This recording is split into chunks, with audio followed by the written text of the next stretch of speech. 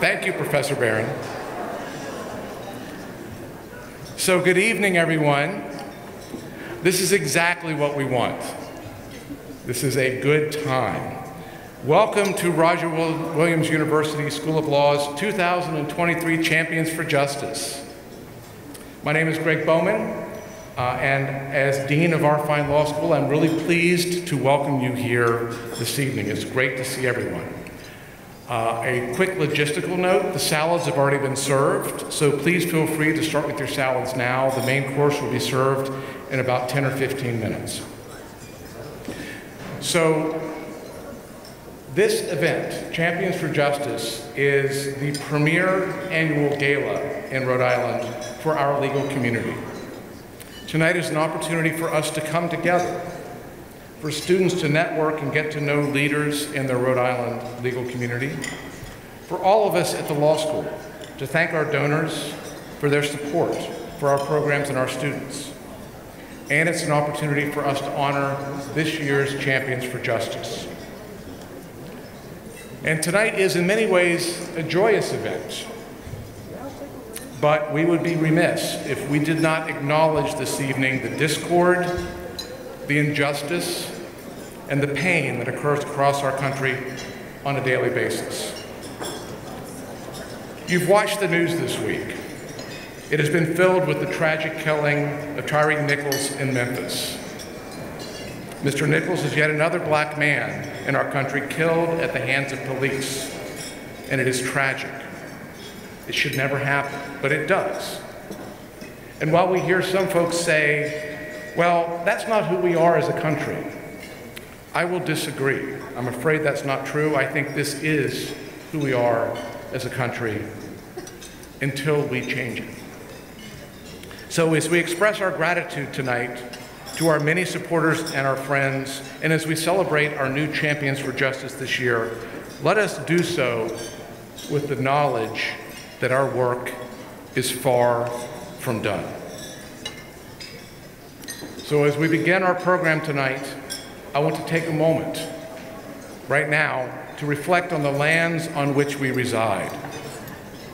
We are coming from many places, and we want to acknowledge the ancestral homelands and the traditional territories of indigenous and native peoples who have been here since time immemorial, and to recognize that we must continue to build our solidarity and our kinship with Native, pe Native peoples across the Americas and across the globe.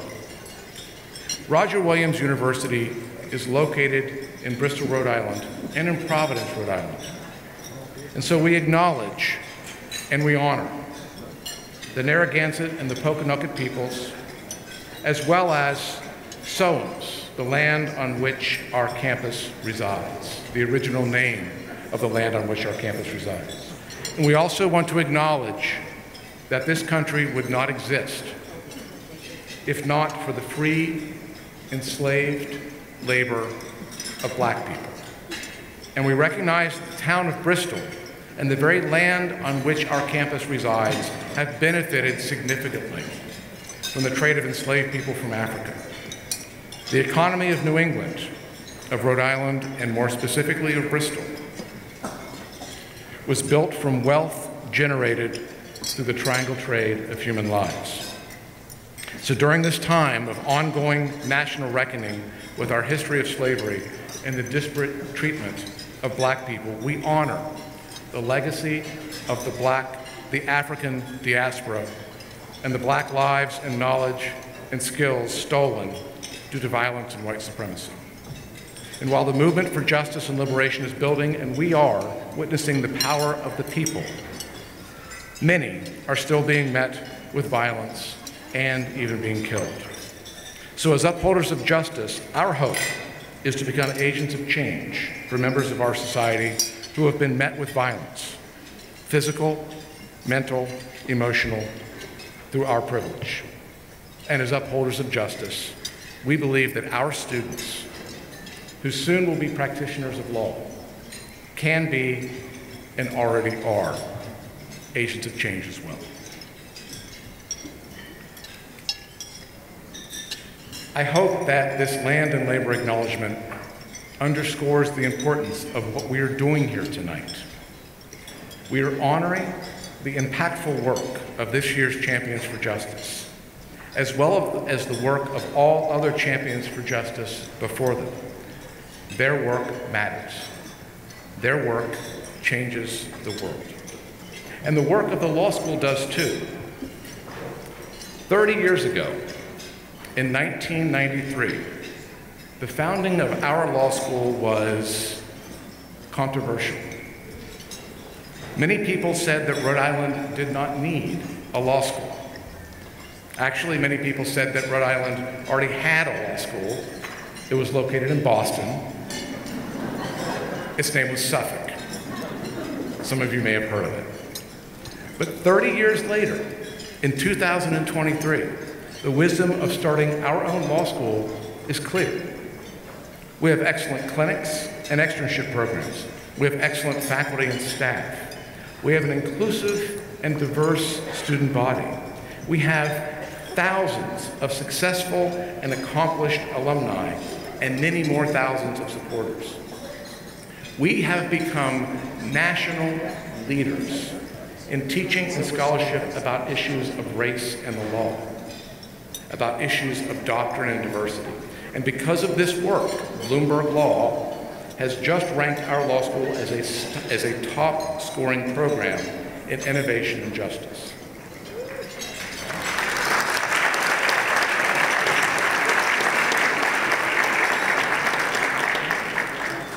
We are a success story that is worthy of celebration. And in the spirit of celebration, I want to make two important 30th anniversary announcements tonight that go to the core of our law school's identity and mission. So first, I am pleased to announce that because of our law school's commitment to diversity, inclusion, and social justice, and because of our national reputation in that area, U.S. civil rights lawyer Fred Gray has accepted our invitation to receive an honorary degree from our law school.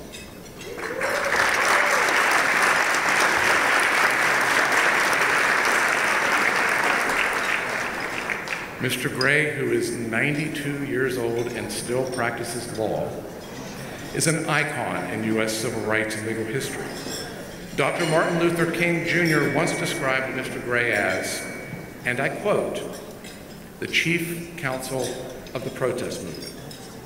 He is a native of Alabama, and he, repre he represented Dr. King in various matters and also represented Rosa Parks and Claudette Colvin in the Montgomery bus boycott. In 2022, Mr. Gray received the Presidential Medal of Freedom from President Biden. And we so look forward to hosting Mr. Gray and his wife in Bristol at our commencement ceremony in May and to honoring his service to the country and to the legal profession. So that's the first announcement. The second announcement is this. In celebration of our law school's 30th anniversary, and to further deepen our commitment to social justice and to diversity, equity, inclusion, and belonging, Roger Williams University School of Law will establish a new center for race in the law in 2023.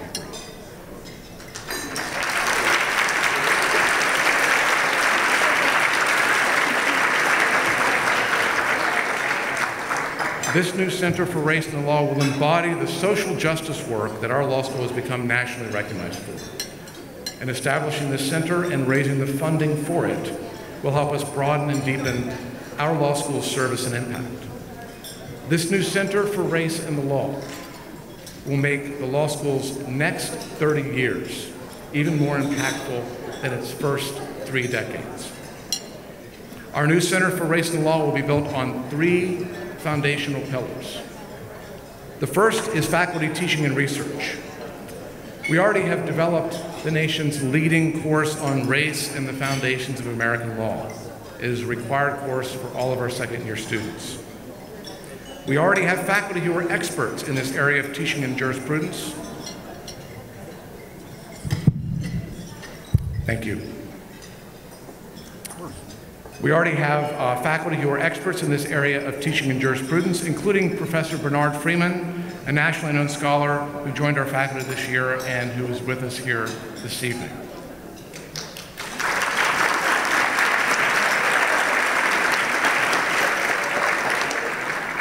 Over the next several years, we need to do even more faculty hiring and we need to expand our research even further so that we can continue to cement our law school's national reputation as a leading innovator and contributor in this area of teaching and research.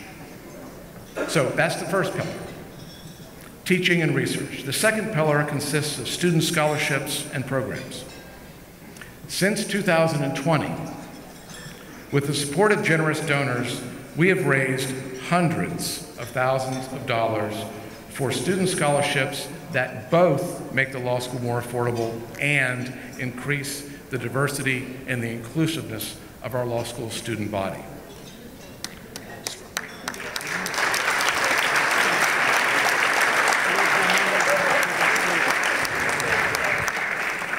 Students who have received these scholarships are here with us tonight.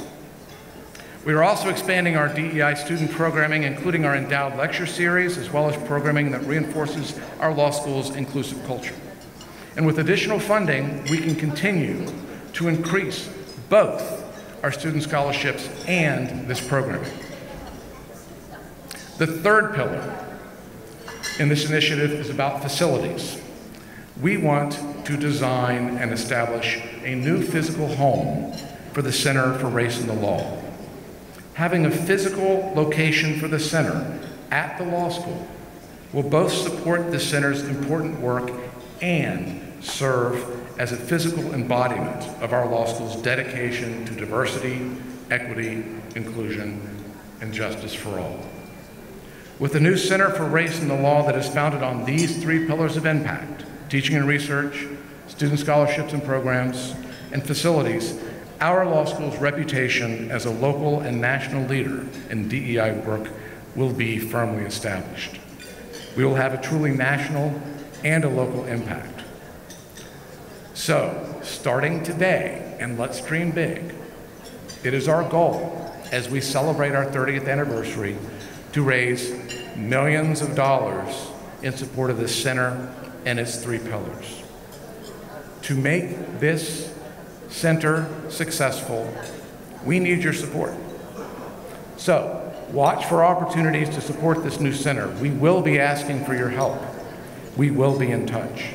And frankly, I just I can't think of a better way to celebrate our law school's 30th birthday.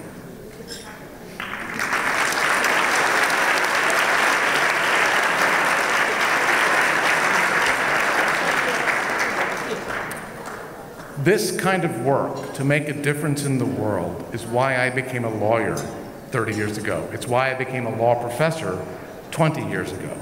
And I firmly and deeply believe that law schools, when we are doing things right, can be, should be, and in our case, will be agents of social change. We should be working together to make the world a better, and more just place for all, and our new Center for Race and the Law will do just that. So, speaking of support, we have many generous sponsors for this evening's event, and they are listed on our program and on our website and on the slides. I want to thank all of them, and in particular, our lead sponsors for this evening's event Chisholm, Chisholm, and Kilpatrick Limited, Mandel, Boisclair, and Mandel Limited, Marasco and Nesselbush LLP, Motley Rice, LLC, and Robinson and Cole. And we are also this evening joined by some of our wonderful law students. And for the students in the room, my message to you is this. Tonight is for you. This event is for you. You are the future of legal education. You are the future of the legal profession. We are very, very proud of you.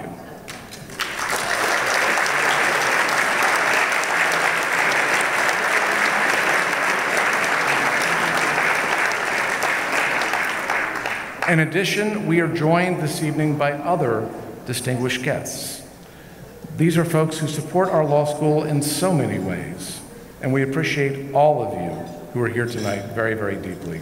I want to extend a warm welcome this evening to members of the federal and state judiciary, elected officials, university trustees, members of the Law School's Board of Directors, and the Law Alumni Association Board of Directors, members of the university's Board of Trustees, honorary degree recipients, and our returning champions whom we have honored in previous years. Thank you all for being here with us this evening.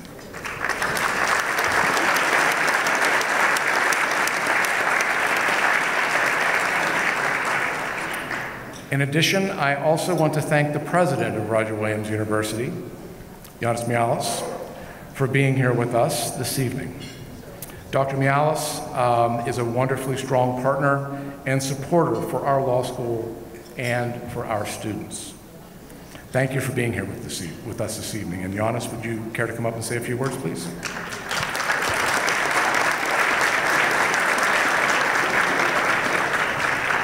Come on up.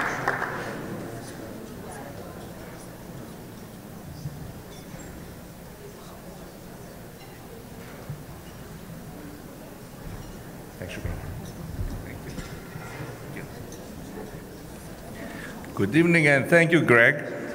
Um, I started my job in uh, 2019 and my first event like that is uh, 2020. And it was a huge event. I, I met a number of you that were here during this year and you remember that event was uh, almost twice the size. Uh, it was before COVID, of course. And of course, COVID hit and the year after that there was nothing. And then we're building it up, and the excitement is building up. And a number of you told me that this is the signature event for the legal community of Rhode Island, and how excited you are to, uh, to uh, every year attend this, and we're going to be building it even stronger and, and stronger.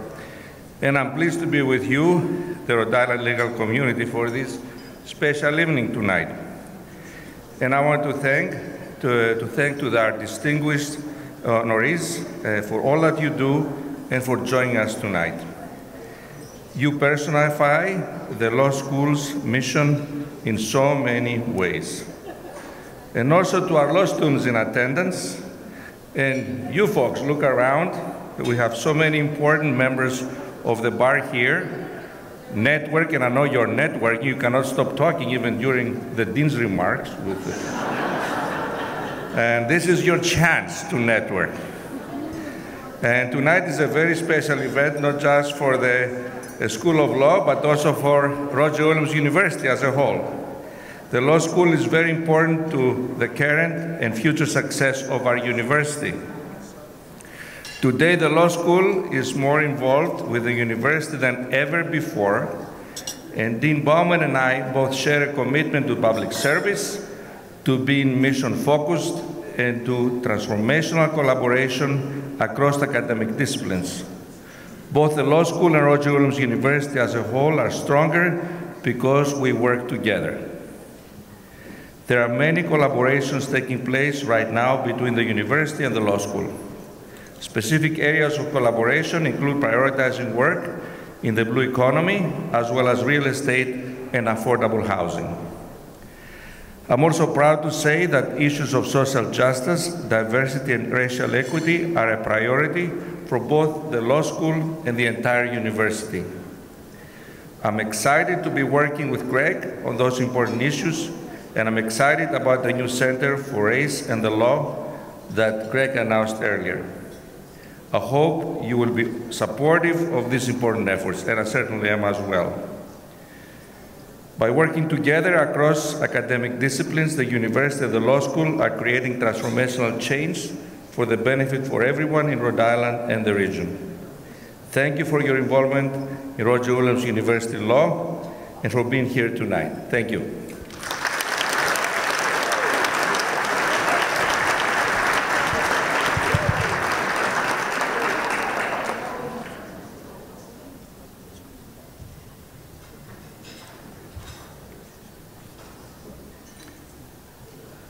Jonas, thank you very much. And, and, and everyone, thank you very much for listening to the president, if, if not always to me. I appreciate that. So, as in years past, we have a silent auction taking place this evening. You can bid on items on the silent auction app, which is called HandBid. On your table, you will find the programs, and on the program, there is a QR code with a link to the app and the site for the silent auction. The silent auction raises money to fund our pro bono and experiential programs. It will remain open until 8:30 this evening, and you could be the lucky winner of many different things, including my favorite, a one-month pass to park in the Dean's parking spot in Bristol.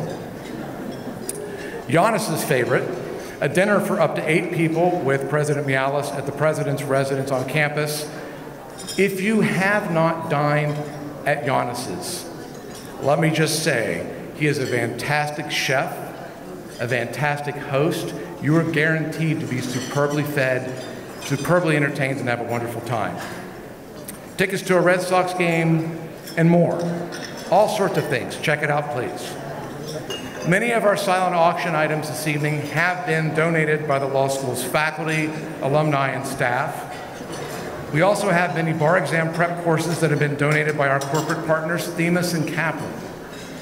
These courses were donated for free by these companies, though worth at least $1,000 each. So for the students who are 3Ls in the room, these are great buys. So, as you can see, dinner's being served. We hope you enjoy it. The program will continue in about half an hour after we're finished with dinner. Thank you and enjoy your meal.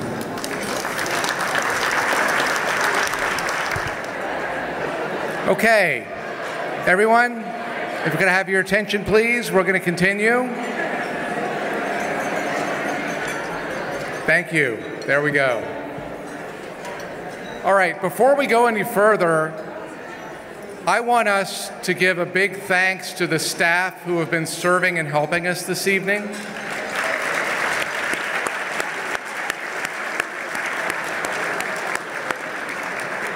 This is a really complicated operation to get everything served out on time, to get the food ready, to get the food served, to get everything taken up, and to get the delicious dessert out. So this is really amazing. So to everyone working tonight, thank you. We really, really appreciate what you're doing to make sure that this is a really fun, successful, celebratory evening.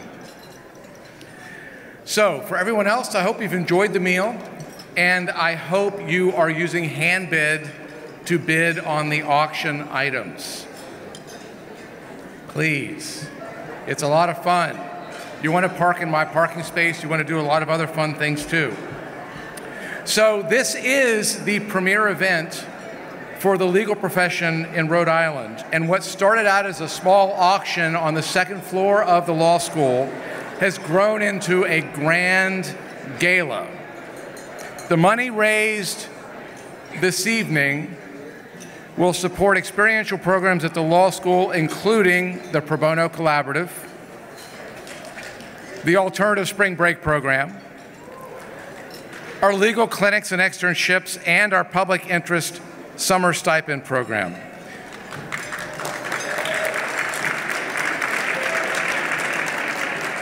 And you'll notice the students were the first ones to clap. Your support gives our students the opportunity to participate in these programs. And that gives them the opportunity to learn firsthand what it really means to be a lawyer, to be a member of our service profession, to be the only thing standing between a client and disaster. And that's incredibly important. Now, our pro bono and externship and clinical programs rely on your support, but they also rely on the excellent work of my colleagues at the law school who serve our clinics, our externships, and our pro bono programs. And I'm grateful for their dedication. I'm proud to be their colleague. And in, in addition, to those colleagues, we have many other hardworking, dedicated, excellent faculty and staff at the law school who make a difference in the lives of our students every day, both inside and outside of the classroom. So at this time, would all law school faculty and staff please stand and be recognized?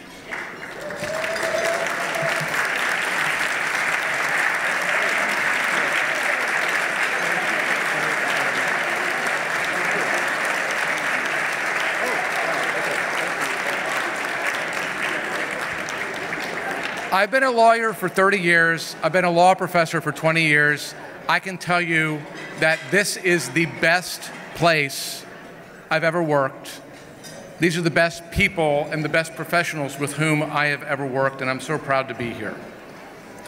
So, speaking of excellent folks who make a difference, this is the moment we've been waiting for. This is when we present our champions for justice this year. And to start us off, I am pleased to welcome to the podium my faculty colleague, Laurie Barron, who serves as the law school's Director of Clinical Externships and Director of the Feinstein Center for Pro Bono and Experiential Education.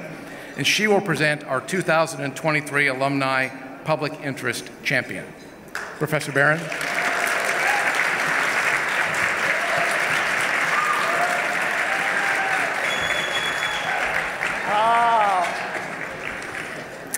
I brought Joy up here with me.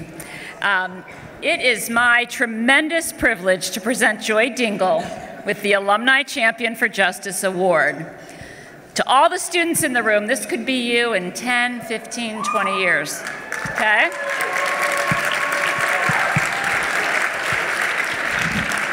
Come a little closer, Joy.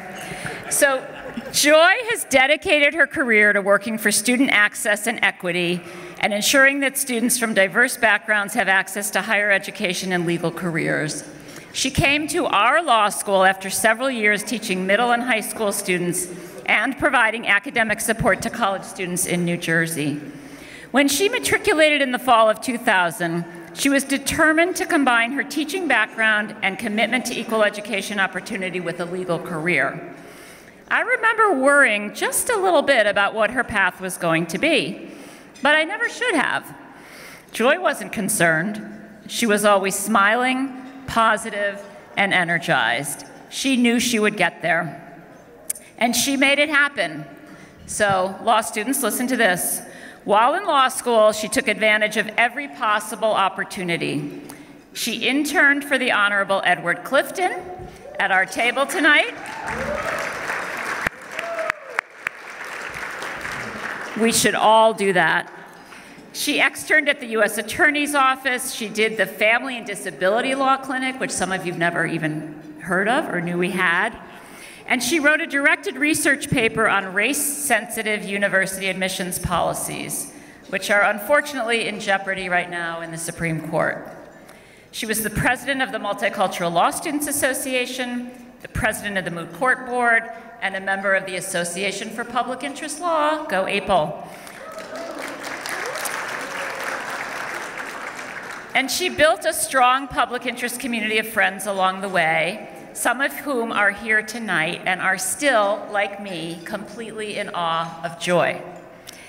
After law school, Joy continued to find opportunities to focus on access to education, working at the U.S. Department of Education, teaching at a public charter school, directing a college prep program at Georgetown University's Institute for College Preparation, and consulting. And then in 2016, Joy became the Senior Director of Legal Diversity Initiatives at Street Law Incorporated in Maryland.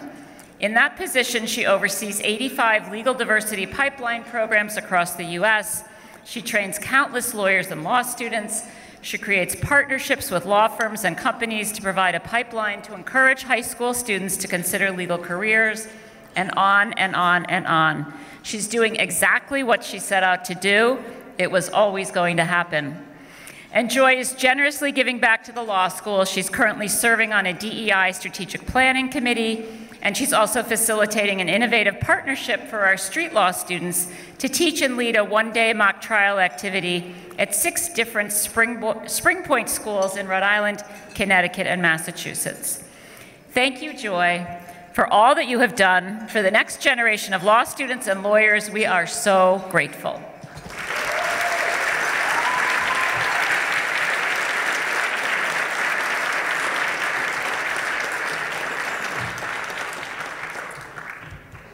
Good evening, everyone. Um, Laurie, thank you very much for that generous introduction. Um, you really put the proud into public interest, and I, I want to thank you personally. You have touched my life, that of my classmates, and so many students who have followed. Um, and so I'm, I'm, I'm thankful to you. Uh, President Milonas, Dean Bowman, colleagues and friends, and students. I'm pleased to join you tonight. During my 28-year professional journey as an, an educator and attorney, I've had the privilege to advocate for, advise, and teach hundreds of students. I often tell them that they should enter the room as if they are interviewing for a job. And I'm embarrassed to say um, that I have not necessarily followed my own advice. I did not realize that anyone was watching what I was doing. And so, like so many lawyers who serve the public interest, uh, I come to work each day with the goal of doing my best, empowering people when I can, and usually with modest resources and even less attention. So when I received word that I would be recognized for my work, I was both surprised and humbled. I have immeasurable respect and admiration for the work of the other honorees, Megan Smith and her team at the House of Hope, and the legendary Bob Mann. And I want to extend my warmest congratulations to all of you. I accept this honor in loving memory of my parents, both of whom were caring souls, devoted civil servants, and people of faith. They demonstrated kindness and respect toward all, always lent a hand to those in need, and stood up against injustice. They were a shining example to me and my siblings, along with the other young people in our community. It is on their shoulders and those of our ancestors on which I stand. I am the youngest of four, and I have to give thanks to my sister and two brothers as well. Although they are proud of me, they don't actually care that I'm a lawyer. For them, my most important titles are sister, auntie, and buddy, and I wouldn't have it any other way. They, along with my six remarkable nieces, keep me grounded, and I love each and every one of them. Some of my dear classmates are here with me tonight, and Diana, Camille, 20 years later, I am fortunate to call you my colleagues and friends, and I'm so grateful that we can share this moment. I am also grateful to my many law school mentors who offered encouragement and guidance in those early years. And Laurie, I, I can't say I had it together every day. I, I had faith, but you know, there were some days. Um, but in those early tentative days, those mentors inspired me, and they continue to even now. And many are in the room tonight and right at my own table, and I'm just absolutely thrilled. And last and certainly not least are the young people I have an opportunity to serve through my work at Street Law. Their intelligence, tenacity, and unquenchable thirst for justice give me hope. Diversifying the legal profession is not about shifting the burden to students and attorneys and judges of color. It is not about standing back and just letting DEI professionals do their work. It is about all of us coming together to create meaningful opportunities, schools, and workplaces that allow people of color to excel and assume leadership positions while, re while remaining their authentic selves. It is about all of us raising our expectations, challenging our assumptions, and removing the barriers that keep too many gifted people of color from staying the course and contributing in meaningful ways.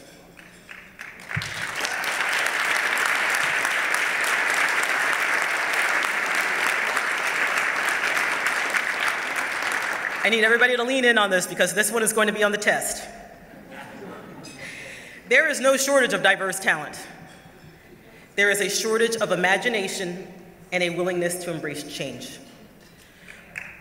We have the resources, we have the resources to make our noble profession match the, demogra the demographics of our beautiful United States of America.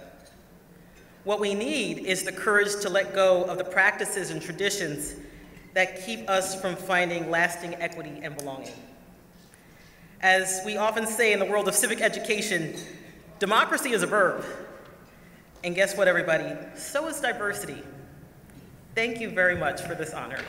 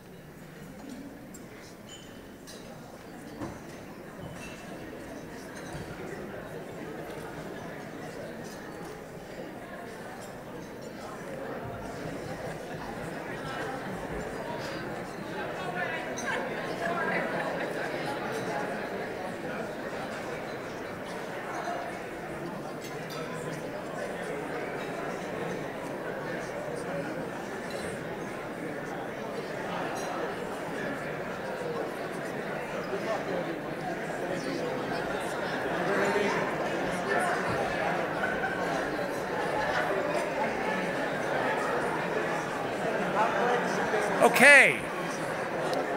So that was our first honoree. Thank you so much, Joy, for all of you that all of you have done. Thank you, Laurie. And Joy, your work is truly making a difference in the world, and we are honored to be part of your journey and of your story. So now I'm pleased to have with me here on the uh, near the podium my faculty colleague, Professor Eliza Vorenberg, who will present our award for the 2023 Community Partner Champion for Justice.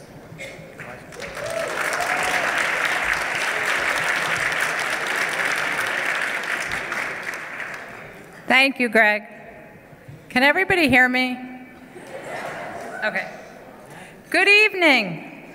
I'm thrilled to have the honor of presenting Laura Jaworski, sorry, Megan Smith and the House of Hope CDC Outreach Program with the Community Champion Award. Since the moment I met Megan, I knew that she and her colleagues at House of Hope were an exceptional group of people whose care and concern for those they serve is deep and authentic. For years, the House of Hope has served our most disenfranchised communities with the utmost respect fighting tirelessly for safe housing as a basic human right. Their goal, quote, to see all Rhode Islanders thrive from the comfort of home. A home. The Pro Bono Collaborative and the Criminal Defense Clinic have partnered with House of Hope on a variety of initiatives, including the Housing Appeals Project that involved assisting unhoused people with their public housing application denials. Their license restoration work and the creation of a fund to help people afford the costs associated with getting their licenses restored, and a campaign to reduce and in some cases eliminate burdensome court fines and fees. These are just a few of our collaborations with House of Hope. A final word about Megan Smith who, in addition to everything else she manages to do, serves on the Pro Bono Collaborative Advisory Board. Megan is tireless. She is a true friend and advocate to those dealing with the most challenging circumstances. She is creative, collaborative, and innovative, and she has a wicked sense of humor. she is a true community champion. Congratulations, Megan, Laura, and the House of Hope.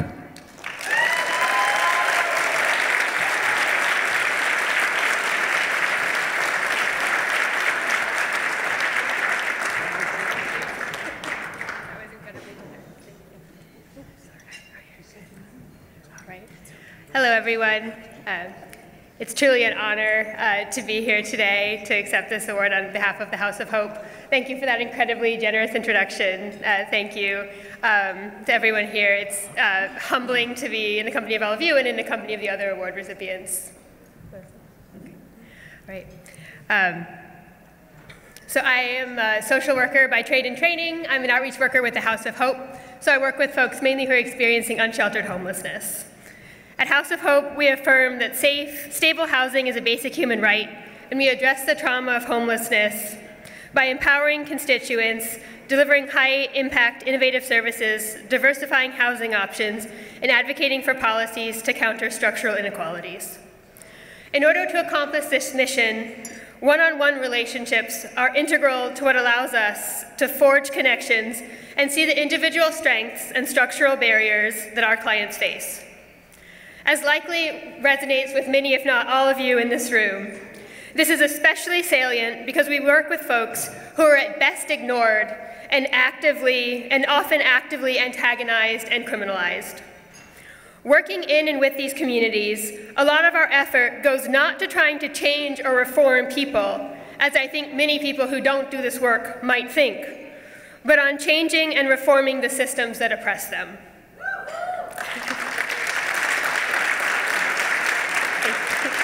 Further proof for among allies, thank you. um, know your audience. Um, and client-centered care by which I mean truly seeing a person in their full context and taking my lead, our lead, from their worldview and goals, is too often reduced to a buzzword. But that is not the case at House of Hope, and that is not the case with the Roger Williams University School of Law. Interactions with RWU have been a gift because the community here understands that the people with whom we work have complex lives shaped by multiple forms of systemic oppression, and that working with this client population requires structural competence in seeing these interconnections. There are too many examples of this for me to name, but just to give two. A couple of years ago, immediately pre-COVID, I brought a client to the, to the immigration program he is a person who is experiencing street homelessness, who is at risk of deportation for so-called crimes of moral turpitude, which involved simple possession of marijuana. And seeing the way that that attorney interacted with him and guided him and interacted with his wonderful, sweet mother throughout this whole process and ultimately avoided deportation, allowed him to gain status, which subsequently allowed him to gain housing, highlights what I mean when I say structural competence and seeing a person in their full nature. Also, Andy, since you're right in front of me, I can call you out. Um, in more cases than I can count, you have been a tremendous advocate to the innumerable people I've directed your way to help navigate issues related to municipal court charges and issues at the traffic tribunal. And in each and every case, you've taken them as their full, beautiful selves, even when those full, beautiful selves sometimes pose challenges to communication. um, and this advocacy doesn't stay just on the level of case, but very much extends to the level of cause advocacy as well. Uh, Eliza already gave several of these examples, but to give a couple more, it's included the ongoing campaign for municipal court reform, campaigns to legalize the act of panhandling, and the driver's license restoration pilot. And what these campaigns have in common is that they are directly emergent from clients' lived experiences and responsive to their immediate and central needs. And they also use the positionality of attorneys, social workers, and other advocates as collaborators to maximum effect, whether that's playing inside or outside of our legal system. What, takes these campaign, what makes these campaigns impactful is the genuine care and understanding of clients that they demonstrate, as well as a deep commitment to both individual and systems change advocacy and seeing the interconnections between those. What makes these campaigns sustainable is having partners who both validate and challenge us. House of Hope is grateful to count Roger Williams University School of Law as such an ally, and more fundamentally, as a partner in hearing and centering the experiences of those served and taking bold, innovative, and transformative action towards social justice. Thank you.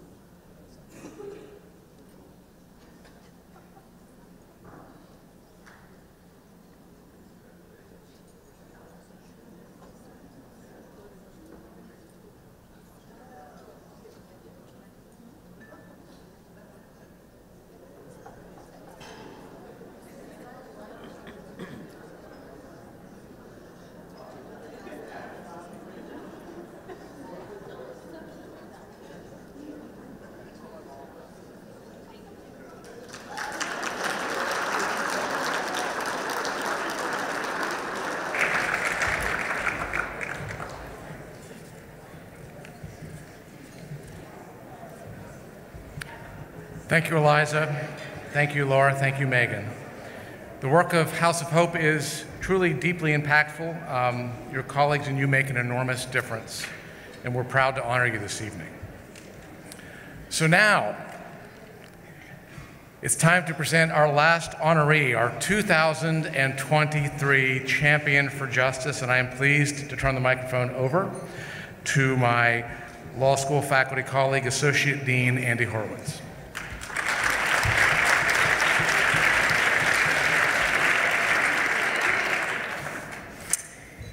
It's my honor and my privilege to present the 2023 Champion for Justice Award to my friend and colleague, Bob Mann.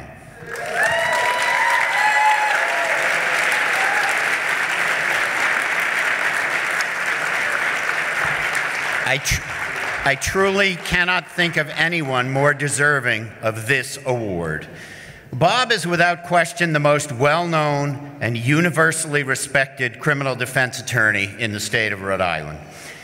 He's a hero and an inspiration to many of us who toil in the fields, always taking on the most challenging cases, representing the poor, the despised, the outcasts, the dispossessed. Bob came from humble beginnings, growing up as a self described military brat, mostly in Germany.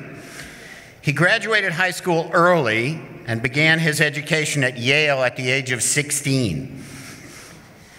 Upon graduation from Yale, Bob obtained a commission in the Army and served two years that included a tour in Vietnam. He then went on to Yale Law School, where he was a classmate of Bill and Hillary Upon graduation, he became a VISTA lawyer for Rhode Island Legal Services, after which he opened his own law firm to do civil rights and criminal defense work. In 1985, he argued Moran versus Burbine, one of the leading U.S. Supreme Court cases interpreting the Miranda decision. Uh, and in that case, he successfully convinced three justices of the wisdom of his argument.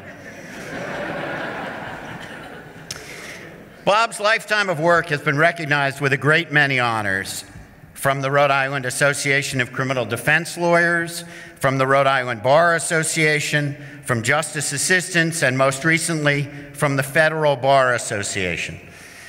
But beyond his obvious intellect and skill as an attorney, several other attributes stand out. He is an extraordinarily kind man with a tremendous sense of ethics. He is generous to a fault with his time, his willingness to work for little to no money, and his mentorship of law students and of the next generation of young attorneys. Countless extraordinary attorneys, including his stepdaughter, who's at the table with us, have been inspired by Bob to follow in his path. Please join me in congratulating Bob Mann on this well deserved award.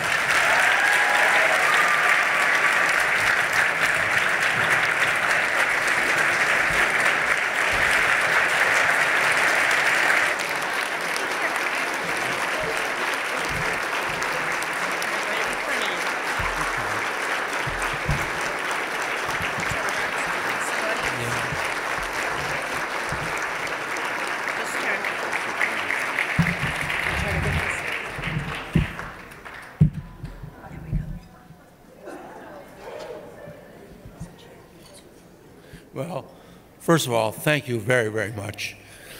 This is an incredible honor. I'm very grateful to you all. I uh, am particularly want to express my gratitude to a few groups of people, to the law school, and more about that and the force it has become for all of us in the legal community.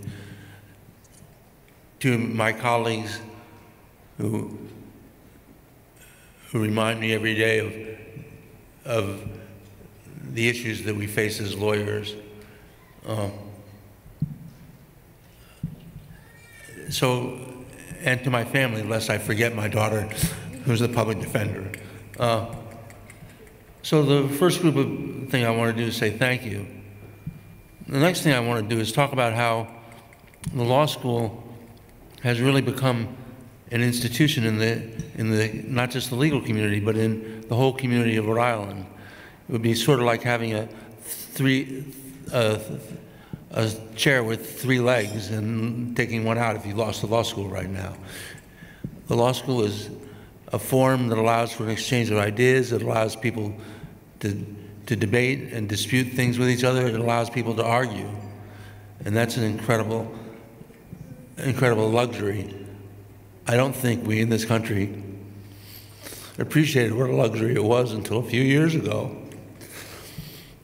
And now, now we see how, excuse me, we see how much in jeopardy our democracy could be. What the law school does, I think, is it fosters the ability to communicate among people from different perspectives. And that is ultimately what will preserve this democracy. We're not always going to agree on everything, that's a given, but we have to have a form or a manner in which we can disagree with each other without becoming totally disagreeable.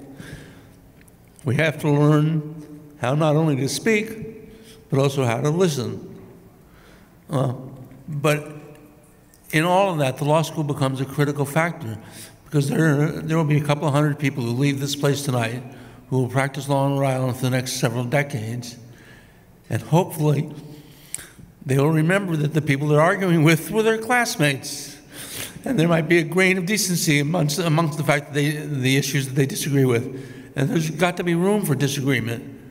And if there isn't room for disagreement, then we've really lost something, and democracy has lost a great deal. Thank you to the law school for being an institution which fosters divergent thought, which fosters disagreeing with each other without being disagreeable, which fosters con- conflicting uh, arguments without being, without being critical, and that most of all teaches us to listen as much as we want to speak.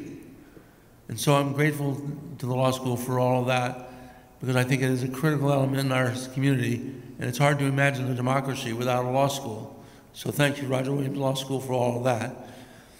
And thank you particularly for all the for all the hope that you give all of us who are going to be practicing law for the next decade or, or two or three, as I threaten my kids every now and then. uh, but you give us a, a form in which, we, it, in which it's not only permissible, it's encouraged to be argumentative. It's encouraged to disagree with somebody, but to do it in a way that fosters learning, not just, not just anger and, and, and disagreement. And that, and I think it'll happen because of the institution and the role it plays, but I also think that one of the things I'd, I'd all ask you to remember is that there will come a time for many of you that you will be celebrating your 50th law school reunion. Uh, that seems inconceivable to some of you in here, I'm sure.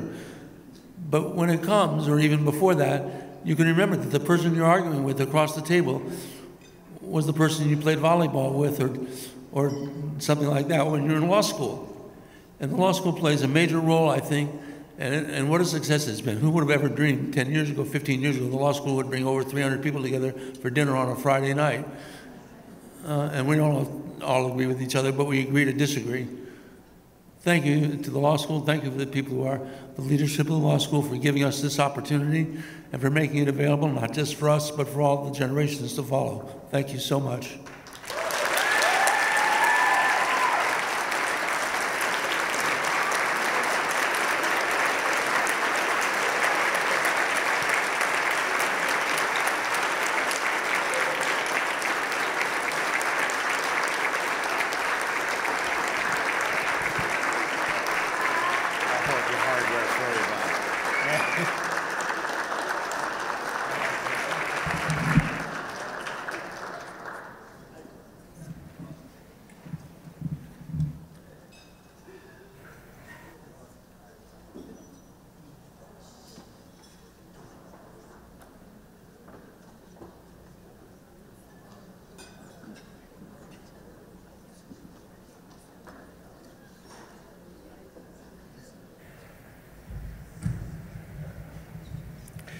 I don't know about you, but I thought that was fantastic.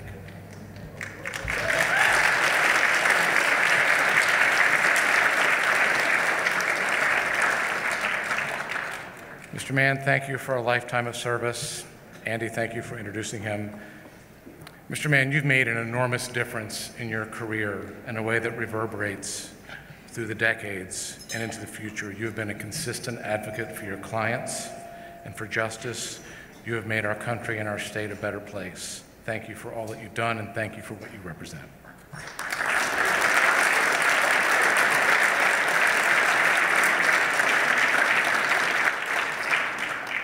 So before we bring our formal close program to a close, I have to remind you again about the silent auction, uh, which raises money for our important work. It ends at 8.30, and the bar, now you're paying attention, the bar closes at that time as well. So I ask you to do two final things to support our law school and our programs. First, stay around and visit while the bar remains open And second, please submit your silent auction bids to support the law school's social justice program. Your support matters in so many ways. It will ensure that we continue to be the law school that Rhode Island deserves and needs. So, this brings us to the end of our evening. And I want to thank you for your time again tonight, for supporting us. Your time is very valuable, and we appreciate you spending it with us. Everyone here tonight, certainly our champions for justice, but everyone else too, is, the part, is a part of our success at the law school today and in the future. All of you. And I want to leave you with this. If you are a graduate of our law school or a student at our law school, we're your law school. And if you are not a graduate of our law school, we are still your law school.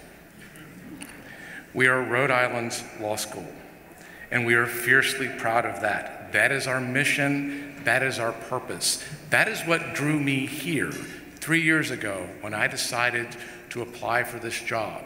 And I couldn't be luckier that the faculty and the staff and the president asked me to join this community and come here. And together with my faculty and staff colleagues and our students, the future lawyers and leaders of Rhode Island and across the nation in the legal profession, we will continue to succeed and we will continue to make the world a better place, one class, one clinic, one new center for race and the law at a time. Thank you very much. Have a wonderful evening.